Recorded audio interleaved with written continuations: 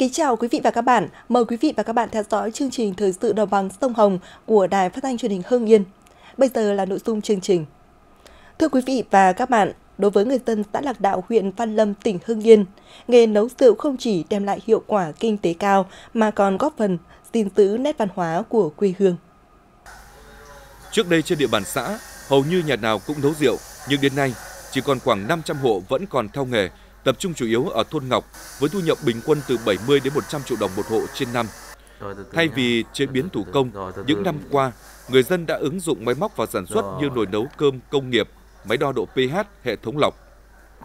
Bên cạnh đó, việc công bố nhãn hiệu chứng nhận tập thể rượu lạc đạo cũng đòi hỏi các hộ sản xuất phải chú ý đến an toàn vệ sinh thực phẩm, đăng ký kinh doanh sản xuất tiêu biểu như các hộ sản xuất Cúc Vinh, Sái Khoa Anh.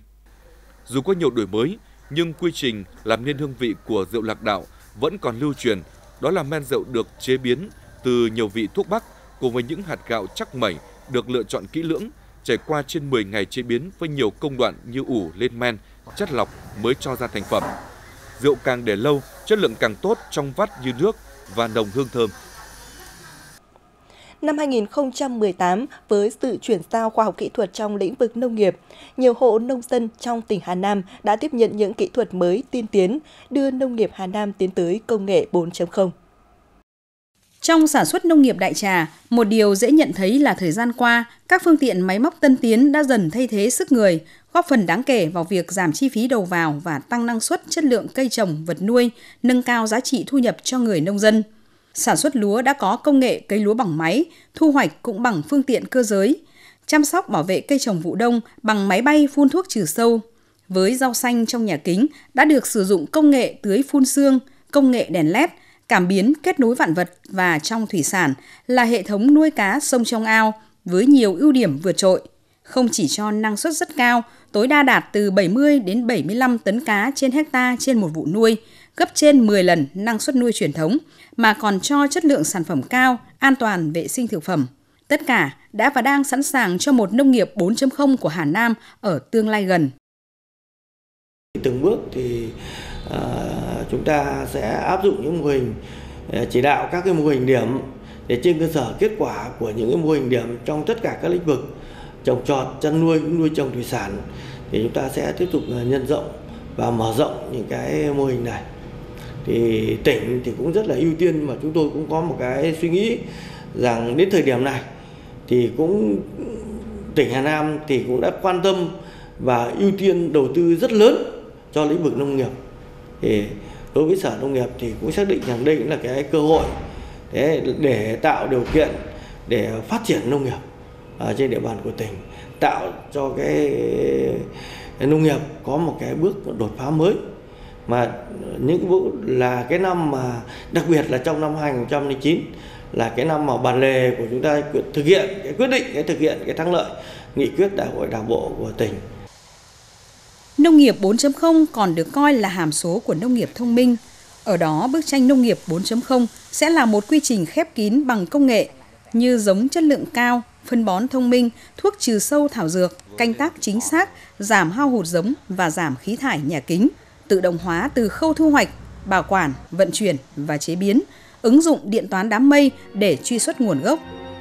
Với những cơ chế chính sách thúc đẩy đầu tư, Hà Nam đang đặt nền móng ứng dụng công nghệ cao trong nông nghiệp, không tiếp cận kinh nghiệm sản xuất nông nghiệp công nghệ cao 4.0 theo kiểu phong trào và cũng không áp dụng tất cả các công nghệ của cách mạng nông nghiệp 4.0.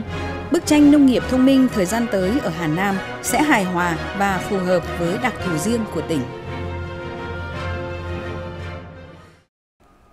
Thưa quý vị và các bạn, những năm qua, bên cạnh việc tập trung phát triển kinh tế, tỉnh Bắc Ninh cũng luôn quan tâm đến công tác an sinh xã hội, ban hành nhiều chính sách hỗ trợ nhằm nâng cao đời sống vật chất tinh thần cho người dân. Một trong những chính sách ưu việt tạo được niềm tin và sự đồng thuận của mọi tầng lớp nhân dân, đó chính là chính sách hỗ trợ thẻ bảo hiểm y tế cho người từ đủ 65 tuổi trở lên. Qua đó góp phần nâng tỷ lệ người tham gia bảo hiểm y tế của tỉnh lên 95,5%, tiến tới mục tiêu bảo hiểm y tế toàn dân. Bên cạnh các chính sách hỗ trợ đối tượng người có công, người nghèo, người cao tuổi, người khuyết tật và trẻ em, thì năm 2017, Hội đồng Nhân dân tỉnh cũng ban hành nghị quyết số 66 quy định về việc hỗ trợ 100% kinh phí tham gia bảo hiểm y tế. với người cao tuổi từ 65 đến 70 tuổi chưa được cấp thẻ bảo hiểm y tế, có hộ khẩu thường trú và đang sinh sống trên địa bàn tỉnh Bắc Ninh. Theo lộ trình tiến tới bảo hiểm y tế toàn dân thì đến năm 2020, Bắc Ninh phải đạt 96,2%. Người dân tham gia, tuy nhiên hết năm 2018, toàn tỉnh đã có hơn 1,2 triệu người tham gia các chính sách bảo hiểm, đạt tỷ lệ bao phủ 95,5% dân số. Việc tỉnh tiếp tục ban hành quy định độ tuổi hưởng thụ thấp hơn, mức hỗ trợ cao hơn bình quân chung của cả nước là minh chứng rõ nét nhất thể hiện quyết tâm của tỉnh trong việc chăm lo đời sống cho nhân dân để không ai bị bỏ lại phía sau. Cải tiến mẫu mã tiết kiệm chi phí sản xuất, nâng cao chất lượng sản phẩm để khẳng định vị thế, thương hiệu trên thị trường đang là những bước đi đúng hướng của nhiều doanh nghiệp, cơ sở sản xuất kinh doanh trên địa bàn huyện Nam Trực, tỉnh Nam Định, tạo tiền đề quan trọng cho bước phát triển bền vững, bứt phá trong năm 2019 và những năm tiếp theo. Tính đến thời điểm hết tháng 12 năm 2018, kinh tế hộ tư nhân và cá thể trên địa bàn huyện Nam Trực đạt hơn 2.700 tỷ đồng, chiếm 45,3% giá trị sản xuất công nghiệp toàn ngành. Riêng ngành cơ khí đạt hơn 3.900 tỷ đồng, tăng 14,7% so với cùng kỳ năm 2017. Ngành dệt may đạt hơn 1.120 tỷ đồng, tăng 13,8% so với cùng kỳ năm 2017. Cụm công nghiệp tập trung Vân Tràng Nam Giang thu hút trên 600 lao động tham gia sản xuất với mức thu nhập bình quân từ 4 triệu đến 6 triệu 500 ngàn đồng một người một tháng. Cụm công nghiệp Đồng Côi giai đoạn 1 có 31 nhà đầu tư đang xây dựng cơ sở hạ tầng và đi vào sản xuất. Năm 2019, cụm công nghiệp Đồng Côi tiếp tục được mở rộng với diện tích hơn 24 ha, tổng mức đầu tư dự kiến 193 tỷ đồng. Đây là điều kiện thuận lợi cho các doanh nghiệp, cơ sở sản xuất trên địa bàn huyện Nam Trực nắm bắt thời cơ để tiếp tục đầu tư mở rộng sản xuất. Thưa quý vị và các bạn, bánh tẻ hay còn gọi là bánh xăng bừa, loại bánh trước kia được coi là bánh của những người nông dân bởi nguyên liệu của nó hoàn toàn là sản phẩm nông nghiệp. Vậy nhưng giờ đây, loại bánh này đã được khá nhiều nơi biết đến và đã trở thành một trong những sản phẩm đặc trưng của huyện Văn Giang, tỉnh Hưng Yên. Mời quý vị và các bạn cùng chúng tôi đến thăm gia đình bà Nguyễn Thị Khoai, thôn Công Luận 1, thị trấn Văn Giang để tìm hiểu về cách làm loại bánh này. Thứ nhất là chúng tôi phải rửa lá, xài đẹp, lá đẹp, gói như thế này. Thế xong là ngâm gạo, dừ thì mới lại xay, xay xong là xay với nước vôi trong. Bỏ lên ráo, cho nó vào bột này thì là mang lên gói. Gạo mình ngâm lâu tùy theo phải ngâm lâu chứ ngâm nó dừ hột gạo thì mới xay được phải nửa tiếng rửa ra gạo là xong nè bây giờ chúng tôi vo.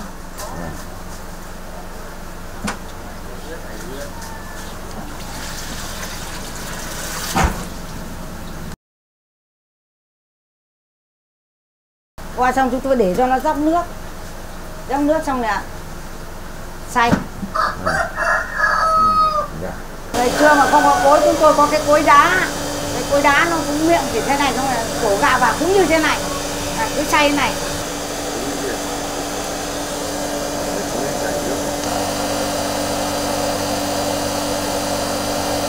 Tôi cho lên bếp này là chúng tôi là quậy đều lên thế này mà đều nữa thì là để cho bột khi nào nó vào vào bột mà như là gói được thì là chúng tôi đấy và lại xúc ra là gói mang lên trên kia như lúc nãy đấy. Quạng đấy có mất nhiều thời gian không? Ngoáy này này.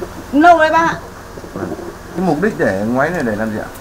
Mục đích cái này để cho nó đậm bột vào nó gọi là chúng tôi gọi là vào bột. Vâng. nó gọi là nó đặc vào thì chúng tôi mới cho ra để gói. để gói. Vâng. vâng. chứ nó cũng chưa chín. Chưa ạ. Vâng.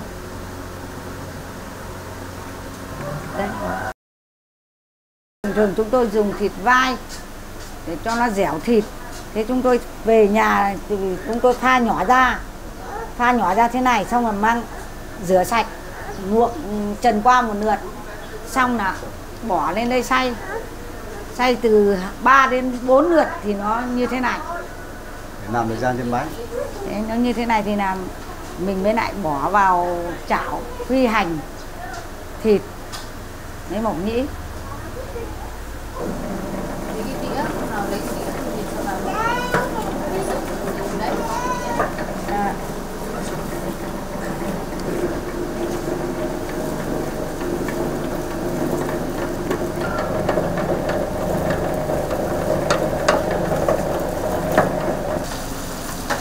cái công đoạn nào là quan trọng? Chúng tôi xay xay xong như thế này đây. Thì là chúng tôi bỏ vào chúng tôi phi hành lên này. Phi hành à, vàng vàng lên xong là cho thịt vào đảo xong là cho mắm muối vào nhĩ đảo chín hay là đảo đảo qua? chín. Cách thứ nhất này kể ca là các cháu nó đi về nó xúc ăn vẫn được. À, vâng.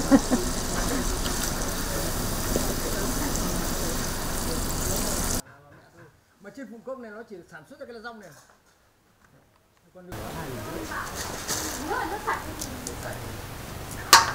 trong nước vôi hả? Nước vôi trong. Ngày xưa thì có làm thế ngày xưa có làm thế còn làm bán này này thì khách thì ai mua thì bán.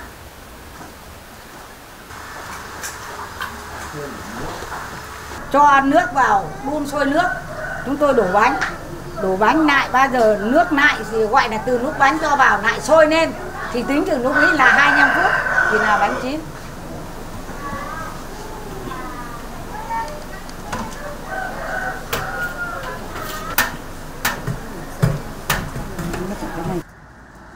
Với hương vị đặc trưng của loại bánh này khiến cho nhiều khách hàng không thể không thưởng thức mỗi khi có dịp đi qua đây. Em thì em quê ở gốc là ở Thái Bình. Thì mỗi lần về đây thì em đều vào cửa hàng Thanh Ngọt này mua bánh về để cho uh, gia đình ăn. Gia đình rất thích ăn cái loại bánh tẻ này. Thị trấn Văn Giang hiện có khoảng 50 hộ sản xuất kinh doanh loại bánh này. Ngoài ra xã Phụng Công cũng có hàng chục hộ vừa sản xuất vừa bày bán. Trung bình mỗi ngày nơi đây tiêu thụ hàng chục nghìn chiếc. Quý vị và các bạn thân mến, những ngày đầu năm, ai tới quần thể Côn Sơn Kiếp Bạc đều không khỏi ngỡ ngàng bởi sự thay đổi về cảnh quan môi trường. Trong khuôn viên các di tích, rực rỡ bởi nhiều loại hoa như chào đón các du khách về với các di tích mùa lễ hội xuân kỷ hợi. Đây là những khuôn viên của di tích vừa được cải tạo, chỉnh trang theo sự chỉ đạo và đồng ý của các cấp các ngành. Không ai có thể hình dung được nơi này trước đây là những gì. Tất cả giờ đã nhường chỗ cho những vườn hoa đẹp như thế này. Có được thành quả đó, nhiều tháng qua, Ban Quản lý Di tích đã ngày đêm miệt mài với quyết tâm rất cao. Với tâm nguyện của những người làm văn hóa, họ đã làm nên diện mạo mới mà không phá vỡ tự nhiên của các di tích. Đây là khu vực hàng quán, các công trình đã xuống cấp. Nơi đây, cỏ dại mọc hoang, lầy lội, khoảng hơn 10.000 m2 này đã cải tạo thành vườn hoa, được thiết kế theo các chủ đề có ý nghĩa. Đặc biệt, khu vực đền thờ Nguyễn Trãi, cảnh quan vốn đã đẹp, nay được cải tạo, mở rộng ra phía cổng di tích, dưới cầu Thấu Ngọc, lòng suối Côn Sơn. Với hàng chục nghìn mét vuông cũng được trồng các loại hoa. Từ sườn núi xuống sau đền như được dệt gấm theo hoa, đẹp như chốn bồng lai tiên cảnh mà sử sách và văn bia của di tích đã ghi. Còn tại Kiếp Bạc, nơi gắn liền với Đức Thánh Trần Hưng Đạo, tại đây cũng được thiết kế, xây dựng thành khuôn viên đẹp đẽ theo các chủ đề rất có ý nghĩa. Cụ thể, giáp tường hậu cung đền Kiếp Bạc được trồng 14 cây vạn tuế, tượng trưng 14 đời vua của triều Trần. Kế đó là vườn vạn tuế được trồng cách điệu thành chữ Trần. Phía dưới, hoa được trồng thành hình tượng hoa sen nâng chữ Trần phía trên. Bên trái đền được thiết kế mô phỏng di tích Kiếp Bạc thu nhỏ, có núi Chán Rồng, đỉnh Mâm Xôi, có Viên Lăng, núi Nam Tảo, Bắc Đầu, có hồ nước và ruộng đồng. Toàn bộ khuôn viên còn có đường dạo xung quanh với nhiều chi tiết hoa văn, biểu tượng ý nghĩa như chữ Trần, bánh luân xa của nhà Phật và thanh kiếm thần của Đức Thánh Trần. Rất ấn tượng và tạo thuận lợi cho du khách ra vào di tích. Nhớ ơn Đảng, nhớ ơn tất cả những người có tâm quan tâm đến nơi đây và chúng tôi về đây là rất là đẹp. Tâm nguyện của chúng tôi khi mà được uh, sự quan tâm của các cấp các ngành cho phép chúng tôi là cải tạo cái cảnh quan môi trường ờ, ở hai khu thánh tích thì phải nói là cán bộ nhân viên của cơ quan là rất phấn khởi được góp một cái sức rất là nhỏ bé của mình vào cái cái cái công ờ, việc này phải đến hàng năm bảy trăm cái ngày công Quần thể di tích Côn Sơn Kiếp Bạc luôn là điểm đến hấp dẫn, không thể thiếu trong hành trình du xuân thưởng ngoạn đầu năm của bao tao nhân mặc khách của mọi con dân đất Việt. Chỉnh trang khu di tích quốc gia đặc biệt Côn Sơn Kiếp Bạc là việc có ý nghĩa nhằm bảo tồn và phát huy hơn nữa những giá trị của di tích, đáp ứng nhu cầu văn hóa tinh thần của nhân dân, phát triển du lịch của tỉnh Hải Dương trong giai đoạn hiện nay. Từ lâu, áo dài đã là biểu tượng đặc trưng cho vẻ đẹp và tâm hồn của người phụ nữ Việt Nam. Diện tà áo dài xuống phố trong dịp Tết cổ truyền không chỉ làm cho sắc xuân thêm rực rỡ, mà còn làm cho các giá trị của văn hóa dân tộc sống mãi với thời gian.